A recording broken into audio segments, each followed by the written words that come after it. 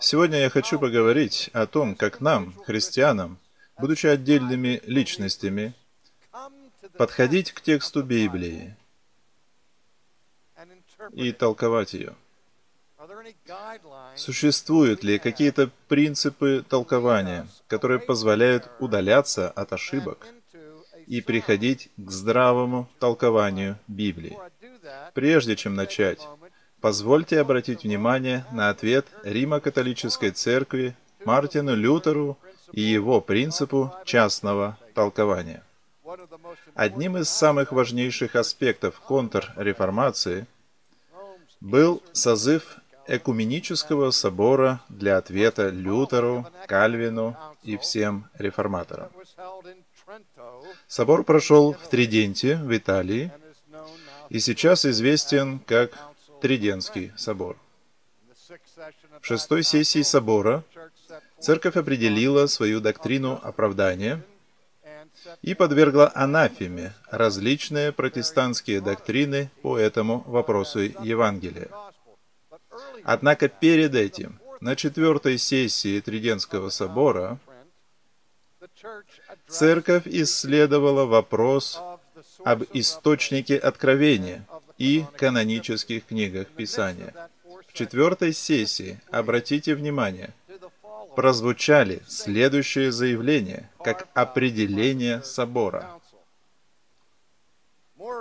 Святой Собор, считая, что Церкви Божией принесет немалую пользу провозглашение того, какое из всех латинских изданий священных книг считать истинными, определяет и провозглашает, что именно древняя латинская вульгата святого Иеронима которая использовалась и была одобряемая церковью так много столетий, в публичных лекциях, диспутах, проповедях и разъяснениях, должна считаться истинной. И никто не может осмеливаться и порываться под каким-либо предлогом отвергать ее. Итак, в этих словах мы видим определение истинности и канонизацию латинского перевода Библии. Но очень интересно, что следует за словами о канонизации. Более того, чтобы успокоить безудержные духи, собор определяет, что никто, полагаясь на собственное суждение, в вопросах веры и морали в христианских доктринах не вправе искажать священное писание под свое собственное восприятие. Не вправе посягать толковать писание противоположно тому толкованию Святой Матери Церкви, которой одной дано судить об истинном значении и толковании Писания. Также толковать противоположно единому учению святых отцов. И такое толкование не должно быть когда-либо опубликовано, а кто осмеливается ослушаться этого решения собора, будут найдены властями и наказаны в соответствии со статьями законодательства. Итак, в четвертой сессии Церковь вступает ногой и давит на протестантскую доктрину частного толкования Писания. Но в этом конкретном решении собора, которое я только что зачитал, мы видим то, что часто случалось на Триденском соборе. А именно, когда пушки римской церкви целились в реформаторов, они сильно промахивались по мишени. То, что они атаковали, было всего лишь карикатурой и даже близко не звучало как доктрины, одобряемые или отвергаемые реформаторами. иногда пушки собора метко попадали в Лютера и Кальвина, но это утверждение, которое я прочитал, показывает, как много на соборе было путаницы. Давайте прочту еще раз, чтобы вы точно поняли решение собора. Решение провозглашает, что никто, полагаясь на собственное суждение в вопросах веры и морали в христианских доктринах, не вправе искажать священное писание под свое восприятие. Давайте тут остановимся и зададимся вопросом, согласились бы Мартин Лютер или Жан Кальвин с этими утверждениями? Да, всем сердцем. Потому что Лютер и Кальвин понимали, что право частного толкования Библии не включает в себя право искажать значение Библии. С правом и привилегией частного толкования всегда приходит священная, святая и трепетная ответственность правильного толкования. Верно преподающим слово истины. Частное толкование никогда не является разрешением искажать Библию. Таким образом, эта часть четвертой сессии, мы с ней согласны. Но что идет дальше, после той запятой? Там начинается проблема, поскольку там говорится. Никто не имеет права пытаться толковать противоположно толкованию Святой Матери Церкви, которой одной принадлежит и будет принадлежать право судить об истинном смысле и толковании Писания. Итак, решение говорит, что мы не только не имеем права толковать Библию искаженно, но мы не имеем права толковать Библию так, чтобы наше толкование отличалось от толкования Святой Матери Церкви. Потому что если Церковь истолковала Писание, то вопрос о смысле Писания был решен раз и навсегда – а право частного толкования не дает тебе права толковать так, чтобы твое учение расходилось с учением Римской Церкви. Вот в этом пункте Лютер, Кальвин, Свингли, Беза, Буллард и все остальные сошли с поезда. Они сказали «нет». И причина, что они сказали «нет» в том, что Римская Церковь не является непогрешимой. Потому что суждения церкви, соборы и все мы допускаем ошибки. И никто, в том числе церковь, не имеет права искажать Писание.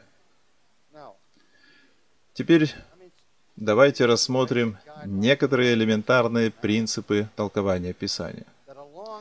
Вместе с принципом частного толкования Лютер и другие реформаторы – установили принцип буквального толкования Библии. Я часто слышу от многих про буквальное толкование Библии. И многие спрашивают меня, вы толкуете Библию буквально? Обычно они даже не совсем так задают вопрос. Обычно они не спрашивают, а утверждают, а потом задают вопрос. Они говорят, Роберт, ты ведь не толкуешь Библию буквально. Это утверждение. А потом вопрос. Правда?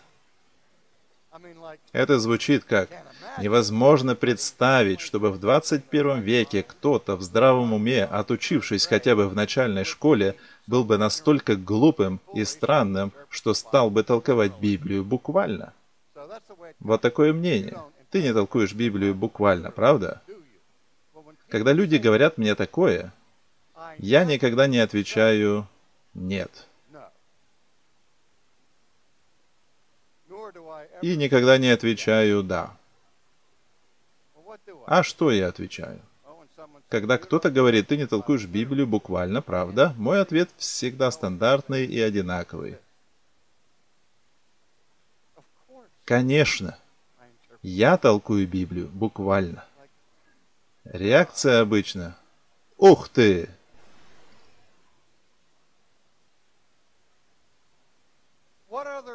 Как еще можно толковать Библию?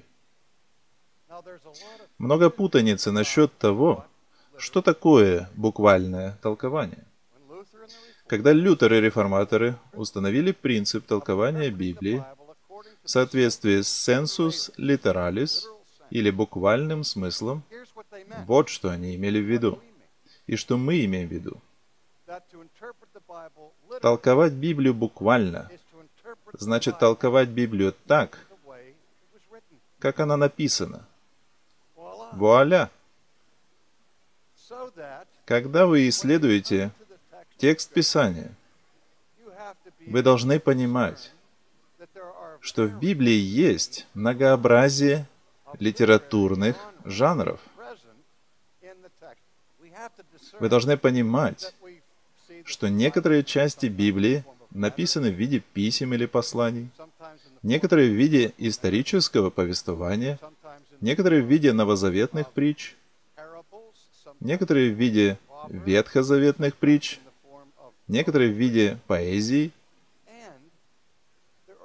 Поэтому должен быть разный подход к толкованию поэзии и, например, исторического повествования. Мы должны все это учитывать. Итак, толковать Библию буквально означает, что ее нужно толковать так, как она была написана. Теперь, что буквальное толкование не означает?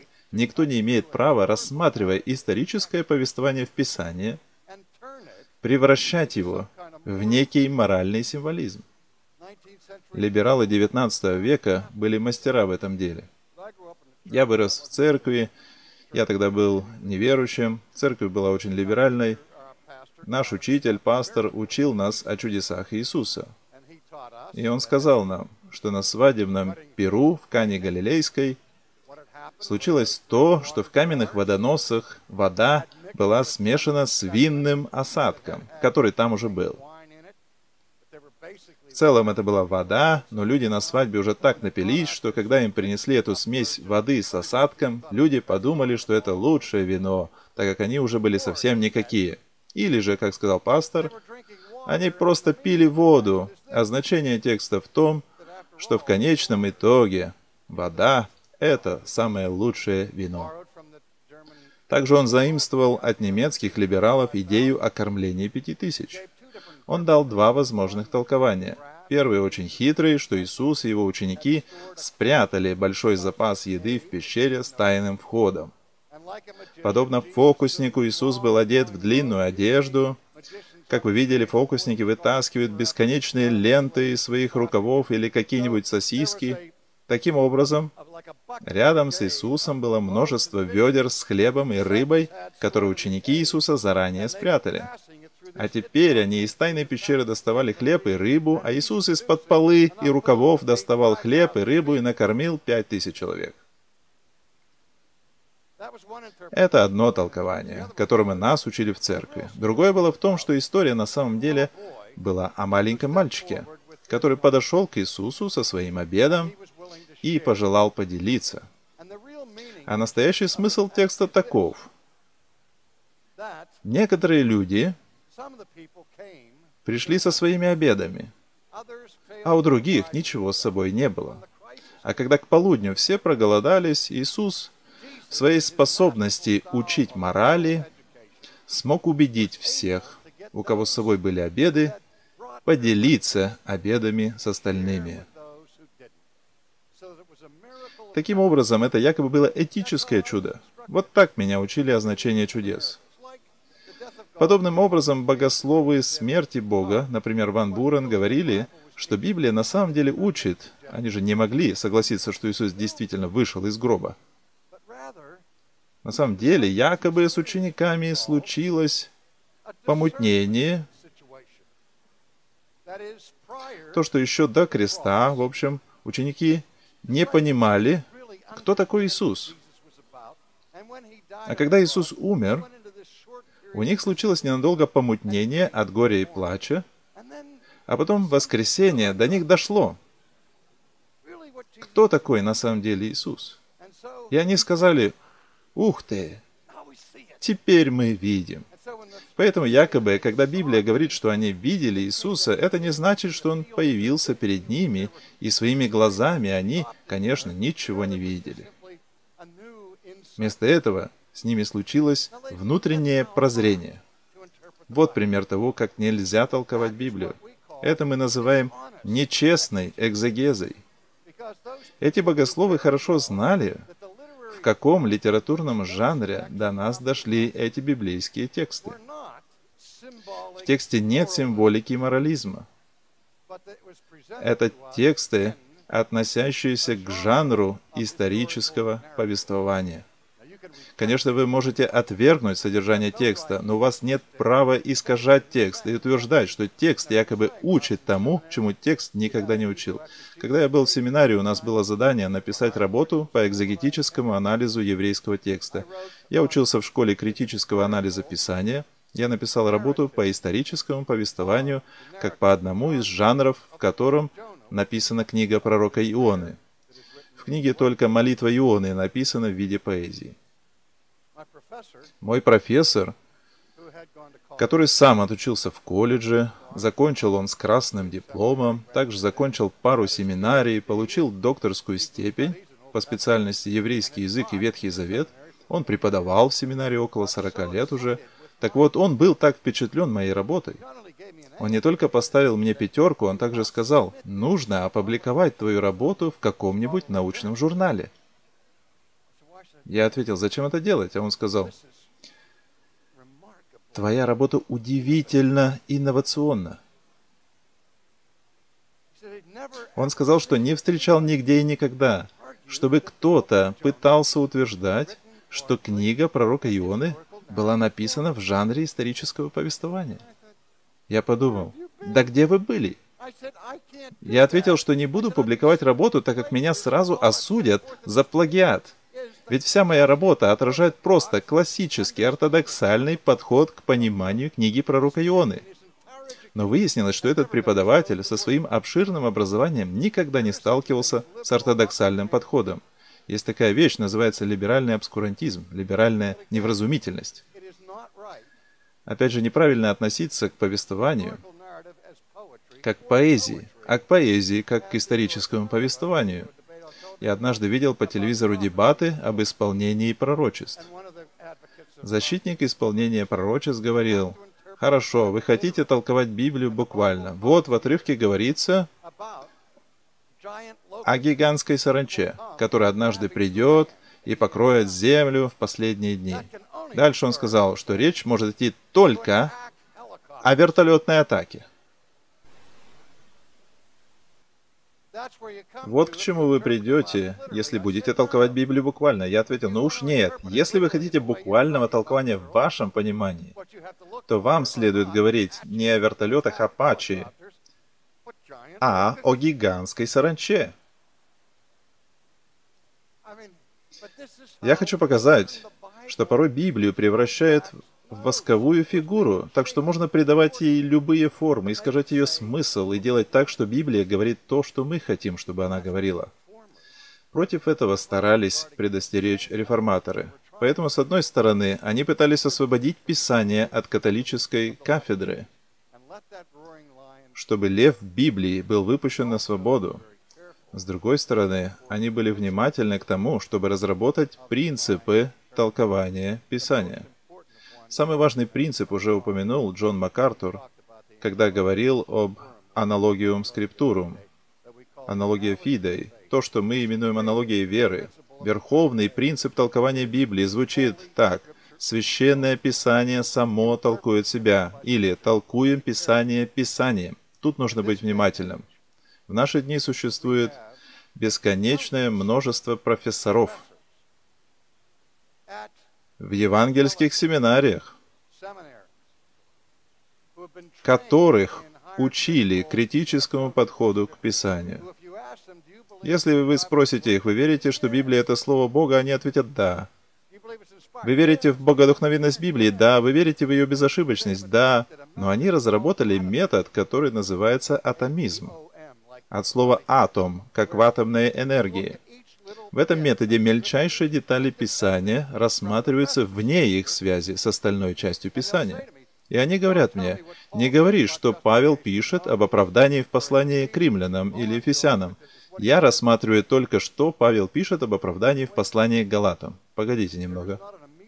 Вы должны учитывать для правильного понимания Писания не только ближайший контекст, но контекст всей Библии. Если мы действительно верим, что Библия — это Слово Бога, и что Бог не говорит двояко, то мы не можем прийти к выводам, что один отрывок Библии где-то противоречит другому. Если я пришел к такому выводу, то колокольчик должен зазвенеть у меня в ушах, подсказывая «Справл». Ты либо неправильно понял послание Галатам, либо неправильно понял послание к римлянам и ефесянам, потому что Писание толкуется Писанием. Думаю, что одной из самых больших современных проблем в наши дни в толковании Библии это, как Спраул-младший говорил, выступая утром, модернизм или постмодернизм. В постмодернизме мы наблюдаем широко распространенный релятивизм, эпидемию релятивизма, которая утверждает, что не существует объективной истины.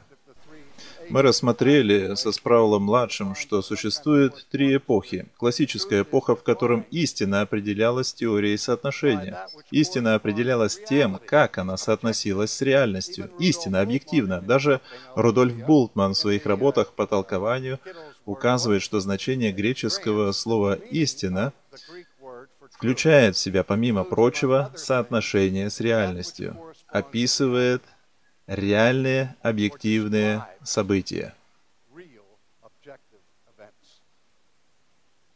Итак, исторически, классически у нас был объективный взгляд на истину. Затем пришла эпоха модернизма, просвещения. Истина стала определяться не тем, что объективно существует, а тем, что один человек смотрит на то же самое отлично от другого человека. С какой точки зрения мы смотрим, определяет наше восприятие истины. Таким образом, истина определяется тем, как мы ее воспринимаем. Наконец, модернизм уступил место постмодернизму. Истина стала вопросом предпочтений. Релятивизм в чистом виде – полный субъективизм. На прошлой неделе в церкви Джона МакАртура во время пасторской конференции, во время вопросов и ответов поднялся вопрос о постмодернизме. Альберт Моллер, президент Южно-Баптистской семинарии, поделился замечательной иллюстрацией, которая раскрывает разницу трех взглядов на истину. Судьи в бейсболе по-разному называют броски промахи и броски страйки. В классическом понимании подающий бросает мяч, Принимающий ловит его, и судья говорит, страйк на первой. Это страйк. Объективная реальность. Мяч был в зоне страйка, и это страйк. Взгляд модернизма говорит, что точка зрения определяет реальность. Подающий бросает мяч, судья был немного в стороне, Принимающий спрашивает, что было. Судья говорит, с моей точки зрения, где я стою, похоже на страйк. Принимающий мяч говорит, с моей точки зрения, где я сижу, это бросок промах. Но судья говорит, простите, но я сужу так, как вижу я. Это модернизм. Постмодернизм. Подающий бросает мяч, Принимающий ловит мяч, судья молчит некоторое время. Принимающий не выдерживает и спрашивает, что было, промах или страйк? А судья отвечает, ничего не было. Пока я не скажу, что это было. Это может казаться смешным, когда речь идет о бейсболе, но мы не играем в бейсбол, когда имеем дело со Словом Божьим. Такие подходы неуместны по отношению к Слову Бога. Позвольте сказать кое-что. Сколько значений у библейского текста? Сколько правильных значений? Одно. Может быть 10 тысяч применений к жизни у каждого библейского отрывка. Поэтому, читая один и тот же отрывок, вы каждый раз можете учиться чему-то новому в применении к своей жизни. Но правильное значение у отрывка только одно. Но в постмодернизме не существует правильного значения. Все подобно картине художника. Вы спрашиваете художника, что ты имел в виду, а он отвечает, я имел в виду что угодно, я рисую, ты толкуешь. Моя картина значит то, что ты скажешь, что она значит. Картина значит то, что ты хочешь, чтобы она значила. От такого подхода к толкованию Библии бегите как можно дальше. Вот как это работает, когда я учу. Когда я даю мое понимание библейского отрывка, всегда бывают люди, которые говорят, ну знаешь, Роберт, это твое понимание Писания. Когда кто-то говорит мне, это твое понимание Писания, Я хочу сказать в ответ, у тебя удивительная способность видеть очевидное. Это я только что высказал свое понимание. Зачем говорить мне, что это мое понимание? Мы все знаем, что это мое понимание. Я его только что высказал. Но когда люди говорят такое, они не имеют в виду очевидные вещи. Они не говорят, что я источник понимания или толкования. Иногда они говорят, это твое понимание. Они говорят так, чтобы побыстрее опровергнуть все, что я только что сказал. Невысказанная предпосылка и силлогизм таков. Все, что Роберт Спраул толкует в Библии, он толкует неправильно. Это его толкование. Значит, это неправильное толкование. Я написал простую книгу на эту тему под названием «Познавая Писание». Она опубликована уже более 20 лет назад. В этой книге я попытался разъяснить реформатские принципы толкования в доступной форме, чтобы люди без семинарского образования могли их понять, чтобы они могли избежать ошибок в толковании Писания, придерживаясь принципов толкования. В одной из глав книги я пишу о десяти практических правилах толкования Библии.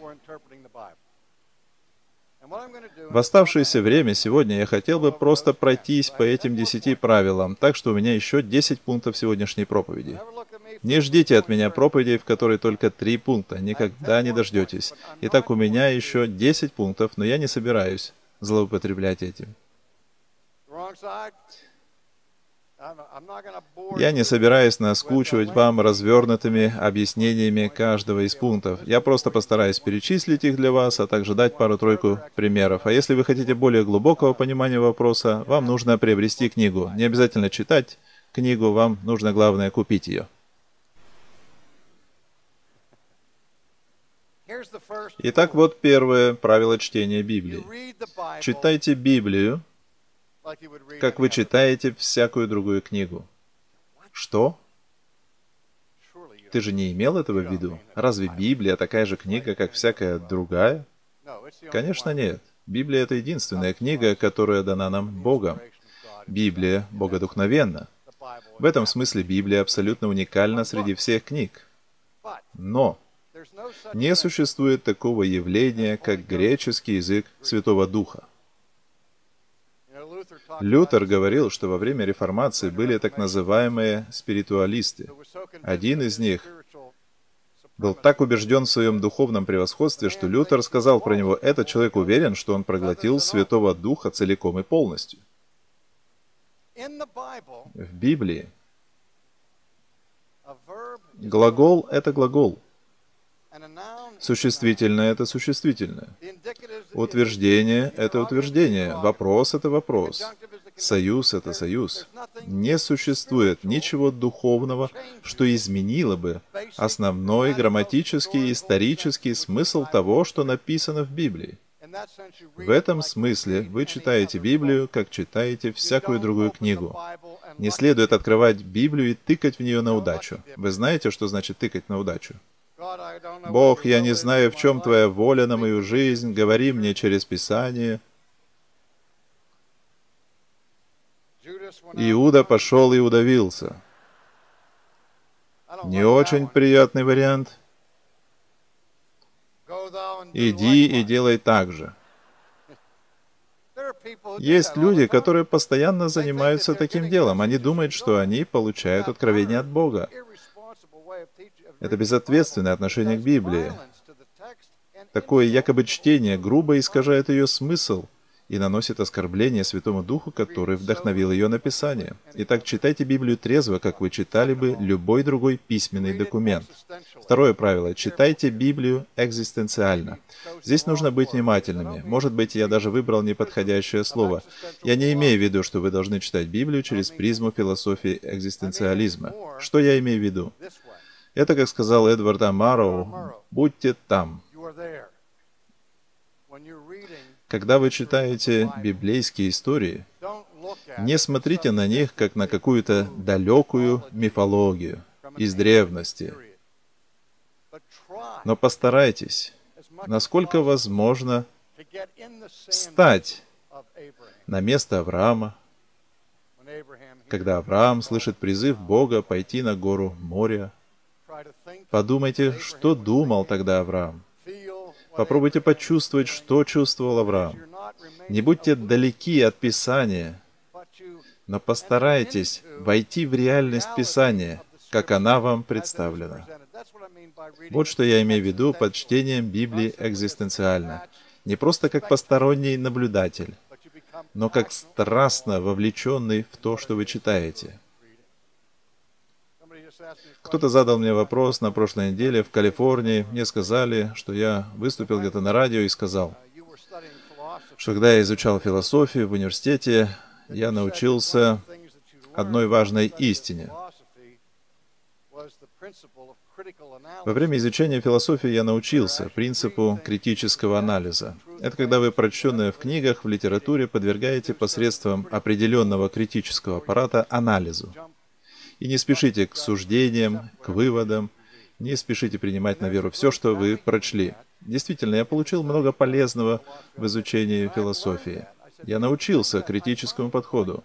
Сказав этого, я должен признать, что всякий раз, когда я читаю Писание, все меняется с точностью до наоборот. Когда я читаю Писание, я обнаруживаю, обнаруживаю каждый раз, что эта Библия подвергает меня критическому анализу, а не я подвергаю критике Библии. Я как-то уже сказал, если вы хотите по-быстрому пройти процесс освящения, я об этом говорил много раз и раньше, в общем, если вы хотите по-быстрому пройти процесс освящения, прочитайте Библию целиком. Всякий раз, когда вы найдете в Библии что-то, что вам не нравится, ставьте там большую отметку. Затем вернитесь к началу и перечитайте Библию, концентрируясь на тех отрывках Писания, которые вам не понравились. Вы обнаружите одно из двух. Либо вы не поняли отрывок с первого раза, Изучая его глубже, вы придете к пониманию отрывка, и он перестанет вам не нравиться. Либо, что еще лучше, если вы, изучив отрывок, воспользовавшись всеми комментариями, какие найдете, поймете текст и скажете, вот теперь я понял текст, но он все равно мне не нравится. Вот вам план, как действительно пройти процесс освящения, потому что теперь вы выявили те места в Слове Бога, где то, что вам нравится, и то, что нравится Богу, это две большие разницы. И вы теперь знаете, в чем вам нужно меняться. Но что делают ученые своим критическим отношением к Библии? Когда они находят что-то в Библии, что им не нравится, они пытаются изменить Библию. В этом полный крах научного критического подхода к Библии. Итак, читайте Библию экзистенциально. Когда вы читаете Библию экзистенциально, то вы обнаружите под микроскопом себя, а не Бога. Это Бог подвергает вас суду, нежели вы пытаетесь быть судьей Слова Божьего. Третий основной принцип состоит в том, что вы толкуете повествовательные тексты посредством дидактических текстов.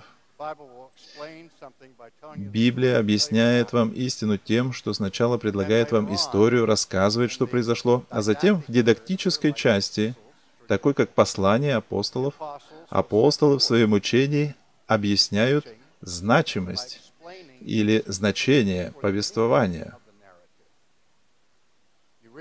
Вы читаете о распятии Христа в четырех Евангелиях. Вы узнаете, что произошло однажды за пределами Иерусалима.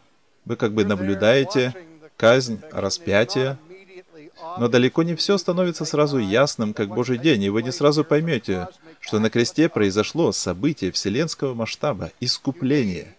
Вам понадобится дидактическая часть Писания, которая разъяснит вам значение описанного в повествовании. Теперь что происходит, когда вы толкуете дидактические послания посредством повествовательных текстов? В богословии пятидесятников проблема в том, что они толкуют Пятидесятницу абсолютно противоположно тому, как сам Новый Завет толкует Пятидесятницу. Ирония в том, что пятидесятники слишком примитивно смотрят на события Пятидесятницы. Они пытаются подстроить смысл посланий апостолов к своим идеям, которые они якобы берут из повествований Евангелий. Дела обстоят еще хуже, так как беда современных евангельских церквей в учении об открытости Бога. Теперь они пытаются убедить всех, что Господь Бог в миссии – это уже не Господь Бог в миссии. Господь теперь не знает всего, Он не знает, что вы собираетесь сделать, пока вы не сделаете этого.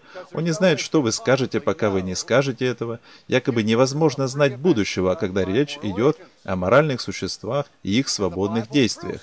Якобы Библия подтверждает учение об открытости Бога, потому что в повествовании мы находим, что Авраам приносит в жертву Исаака, а ангел Господень приходит и говорит, «Теперь я знаю, что ты послушан мне».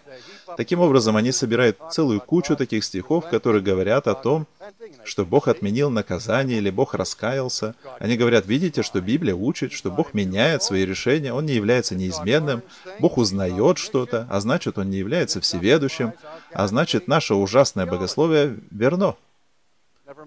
Они не обращают внимания на дидактические тексты Писания, которые учат, что Бог — это не человек, чтобы ему раскаиваться, которые разъясняют, что на самом деле Бог действительно знает, что вы скажете до того, как вы это сказали.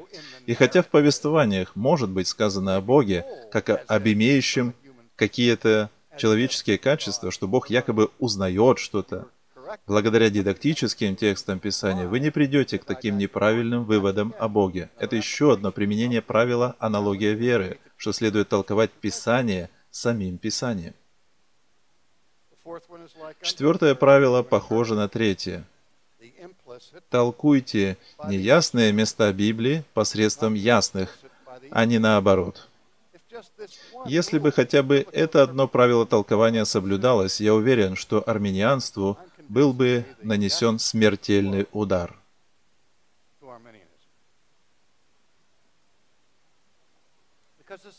Так всегда происходит. Я уже не знаю, сколько раз я разъяснял доктрину об избрании, сколько раз я говорил об этом, а в ответ получал, ну хорошо, а как быть с Иоанна 3.16? А что такого с Иоанна 3.16? Иоанна 3.16 говорит, что Бог так возлюбил мир, что отдал своего единородного Сына, дабы всякий верующий в Него, всякий верующий, этот всякий верующий подчеркивается, Всякий верующий не погиб, но имел жизнь вечную. Я говорю, ну и? Я слышу, видите, это означает, что у каждого человека есть моральная способность избрать Иисуса, и каждый, кто воспользуется этой моральной способностью выбрать Иисуса, спасется. Ну, знаете, когда я смотрю на Иоанна 3.16, я не могу найти в тексте этого стиха такого значения. Где это в тексте? Мне говорят, да это же очевидно. Нет. Вы вкладываете свой смысл в текст, а не делаете выводов из текста. Все, что текст ясно говорит, это все, кто делают А, не получат Б, а получат С. Все, кто верят, не погибнут. Все, кто относится к категории верующих, не будут включены в категорию тех, кто погибнет, но будут включены в категорию тех, кто наследует вечную жизнь. Вот о чем текст говорит ясно. Текст говорит, что случится с верующими в противоположность тому, что случится с неверующими. Говорит ли текст что-то в ответ на вопрос, у кого есть моральная способность уверовать?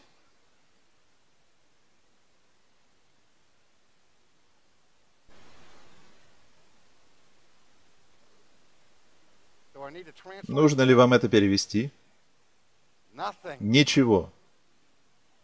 А что Библия в целом говорит ясно о способностях природного невозрожденного человека склонить себя ко Христу или к духовному благу и к Богу? Что наш Господь ясно учит, когда Он сам говорит, никто, никто, это общее отрицание, не может прийти ко мне, если это не будет дано ему Отцом. Учит ли где-то Библия, что мы в нашем падшем состоянии имеем в своей природе способность склонить себя ко Христу? выбрать Иисуса, когда мы слышим Евангелие. Нигде. Господь Иисус Христос сказал, что ни у кого из нас нет такой способности, если только Бог, как обязательное условие, не наделит нас способностью ответить на Евангелие. Вот чему Библия ясно учит о нашей моральной способности. И это ясное учение, которое Иисус дает в Иоанна 6 главе, попирается немыслимыми выводами из Иоанна 3 главы. Тот же автор Иоанн, и только три главы разделяют эти стихи, и что, они уже противоречат друг другу? Не толкуйте ясные тексты посредством своих неясных выводов. Лучше толкуйте различные выводы людей и проверяйте их посредством ясного учения Библии. Лютер говорил, что следует толковать затуманенное посредством ясного, а не ясное посредством туманного. Пятое правило. Мы почти заканчиваем. Обращайте пристальное внимание на значение отдельных слов. Именно с этой целью мы стараемся достичь ясности в словах, в переводах Библии на английский язык. И не занимаемся этой динамической эквивалентностью, где слова не важны, важен только общий смысл. Знаете, так часто в Библии, в спорах, даже в споре Иисуса с сатаной или с фарисеями, победа определяется важностью значения одного отдельного слова. Так что нам нужно быть ценителями слов, ремесленниками, специалистами в библейских словах. Что мне нравится в Джоне МакАртуре, это то, что каждый раз, когда он разъясняет Писание, он сопровождает это не только множеством дополнительных стихов из других мест Писания, но говорит об одном греческом слове, о другом, и разъясняет значение этих конкретных греческих слов. И нам нужно обращать пристальное внимание на слова, Потому что одной из наших трудностей является то, что в Писании одно и то же слово может иметь три или четыре, пять, шесть нюансов в значении. Сколько раз Библия говорит о воле Бога? Как минимум восемью разными способами Библия говорит о воле Бога, который из восьми находится в том или ином отрывке. Как насчет стиха «Бог не желает, чтобы кто погиб»? Я уже весь в синяках. Так часто по мне бьют этим стихом. Бог не желает, чтобы кто погиб. Не желает в каком смысле? Если в суверенном, абсолютном замысле, когда Бог повелевает, чтобы так-то было, то в этом смысле воля Бога не может не исполниться. Или же речь идет о расположении Бога, что Богу угодно, что Бог не находит удовольствия в гибели грешника. Также важно значение слова «кто». Бог не желает, чтобы кто погиб. О каком «кто» идет речь? О жирафах? Об утконосах? Об эллинах. Какое значение люди впихивают в этот текст? Бог не желает, чтобы кто-то вообще из людей погиб. Тогда, если Бог не желает, чтобы даже один человек погиб, и речь идет о суверенной, абсолютной воле Бога, тогда этот стих учит очень многому для армян. Ведь тогда этот стих учит, что все люди будут спасены. Но когда мы посмотрим в текст, то слово «кто», что оно значит? В контексте оно означает «нас». Петр пишет, что Бог долготерпит нас. Долготерпит нас, не желая, чтобы кто погиб. Тогда кто такие нас? Очевидно, что это те, кому пишет Петр, кому он пишет. Мы проверяем, кому Петр писал послание и кому он писал. Да, вы правильно догадались. Петр пишет в первом стихе первого послания избранным. Тогда получается, что Петр учит ясно, что Бог не желает, чтобы кто из избранных погиб. Тогда это совсем не арменианский текст, а в полной мере кальвинистский. Если вы обращаете внимание на значение слов, что еще мы имеем? Спасется через чадородие. Правильно? Мы знаем, что значит слово «спасется». Это примириться с Богом. Перейдет из царства тьмы в царство света. Но еще в Библии слово «спастись» используется для обозначения любого спасения от любой опасности или беды. Так что если вы спаслись от болезни, вы спасены. Если вы спаслись от поражения в битве, вы спасены. Есть много чего, от чего вы можете быть спасены. И нужно отличать это множество смыслов от всецелого спасения от грядущего Божьего гнева. Так что, когда Павел говорит, что женщина спасется через чадородие, он не говорит о том, что есть два пути спасения. Один путь спасения через оправдание верой для мужчин и оправдание благодаря рождению детей для женщин. Мы должны быть внимательными в понимании значения каждого слова в Библии. Следующее правило, шестое. Мы должны учитывать в толковании различные литературные жанры текстов Библии, например, поэтические тексты, которых в Библии много. Первое, что мы должны понять из основ поэзии, и я разъясняю это в книге, основные виды параллелизма в иудейской литературе. Приведу один пример. Открою книгу где я цитирую из Библии короля Якова, в Исаии 45 главе стихи 6 и 7 написано, «Я Господь, и нет иного. Я образую свет и творю тьму, делаю мир и произвожу зло. Я, Господь, делаю все это. Как много студентов подходило ко мне и говорили, вот же, прямо в Библии говорится, что Бог творит зло. Да, так написано. В Библии короля Якова здесь плохой вариант перевода. Опять же, есть восемь видов зла, о котором говорит Библия. В более поздних переводах говорится, что Бог творит мир или процветание, и Бог производит бедствие. Он производит благополучие, и он производит бедствие. Здесь подчеркивается контраст. Если вы понимаете параллелизм, то вы сможете истолковать вторую часть стиха посредством первой части стиха. Вы увидите, что чему противопоставляется, и не будете одурачены недостатками перевода. Даже молитва Господня содержит параллелизм. «И не веди нас во искушение, но избавь нас от лукавого или злого». Лукавый или злой. Непонятный вариант перевода, да, Джон? Здесь лукавый не среднего рода, а панерус, мужского рода. И это имя, данное в Новом Завете, кому? Сатане. Иисус говорит, что когда вы молитесь, здесь идет параллелизм, не введи нас во искушение, то есть не дай нам оказаться там, где мы подпадем и будем уязвимы атакам сатаны, вместо того, чтобы допускать на нас атаки сатаны, Дай противоположное. Избавь нас от лукавого злого, то есть от сатаны. Вот о чем мы молимся в молитве Господней. Таким образом, когда мы научимся распознавать простые формы параллелизма, это поможет нам избежать многих заблуждений в понимании Библии. Следующее правило, седьмое. Мы должны понимать разницу между ветхозаветными притчами и законом. Закон предоставляет нам моральные абсолюты. Сюда не входят прецедентные или законы на отдельные случаи жизни, которые вы тоже можете найти в Ветхом Завете.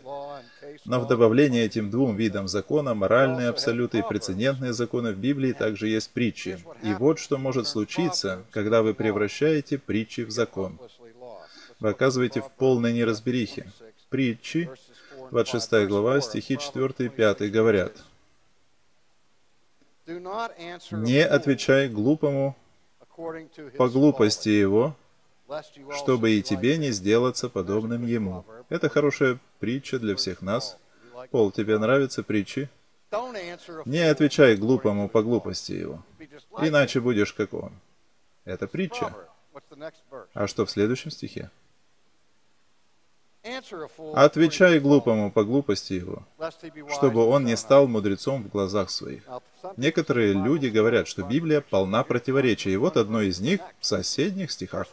Один стих говорит «не отвечай глупому по глупости его», а другой стих говорит «отвечай глупому по глупости его». Ты уж определись, Соломон, что ты хочешь сказать? У нас есть похожие ситуации в английских поговорках. Я скажу вам две классических поговорки. Промедление смерти подобно.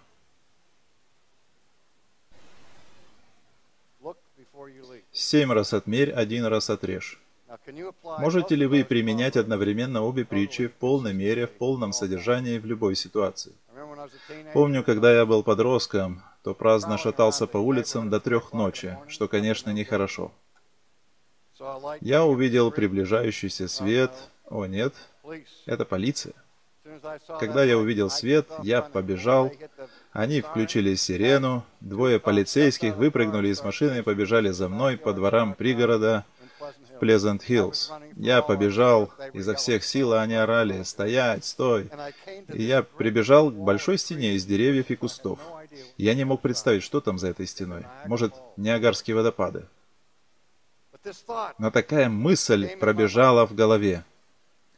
Промедление смерти подобно. И у меня не было времени семь раз отмерять, прежде чем отрезать. Так что я сходу нырнул через эту стену и приземлился в какую-то песочницу на той стороне. Я поднялся и побежал дальше. Они не смогли меня поймать в ту ночь, потому что я применил мудрость. Того, что я знал, что промедление смерти подобно. Видите, притчи дают нам общие принципы мудрости, которые в определенных обстоятельствах показывают нам, как мудрее поступить.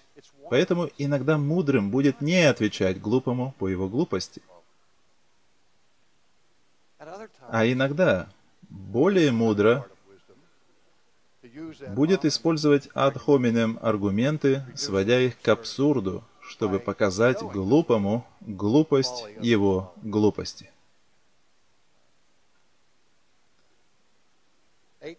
Восьмое, девятое, десятое правило. За 60 секунд. Дух и буква закона. Это опасный момент. Я слышал уже много раз в христианской среде, что фарисеи были виновны в том, что соблюдали букву закона, но игнорировали дух закона. И Бог хочет, чтобы Божьи люди соблюдали дух закона, а не букву закона. Нет. Бог хочет от своих людей, чтобы они соблюдали и дух закона, и букву закона. Порой мы находим себе оправдание, нарушая закон Бога и говоря, «Я соблюдаю дух закона», но при этом попирая Слово Божье. Так что мы должны обращать внимание и на дух закона, и на букву закона. Правило 9. Будьте осторожны с применением новозаветных притч, помня, что в большинстве случаев притчи не могут толковаться аллегорически. Как минимум одна притча является аллегорией, но большинство из них нет. Большинство притч имеет только одно основное значение, и если вы начнете искать в каждом элементе притчи какое-то тайное значение, вы вовлечете себя во множество серьезных заблуждений. Таким образом, есть специальные правила, применимые к толкованию притч. Будьте осторожны с ними. Наконец, будьте осторожны при толковании предсказывающих пророчеств. Будьте ответственными толкователями Священного Писания. Давайте помолимся. Отец, мы благодарим Тебя за Твое Слово, за его силу, чистоту, красоту, более всего за его истинность. Аминь.